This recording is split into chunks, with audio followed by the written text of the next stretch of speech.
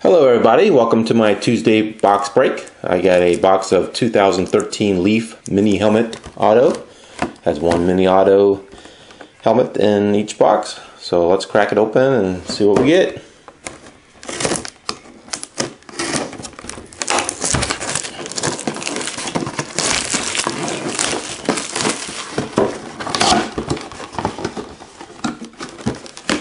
Got a Miami Dolphin.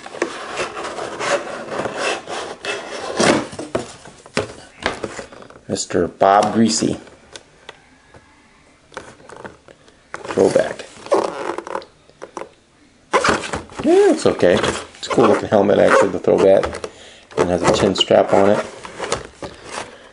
Uh, that's it. Let's show you the auto here. Pretty cool looking. That's it. Thanks for watching.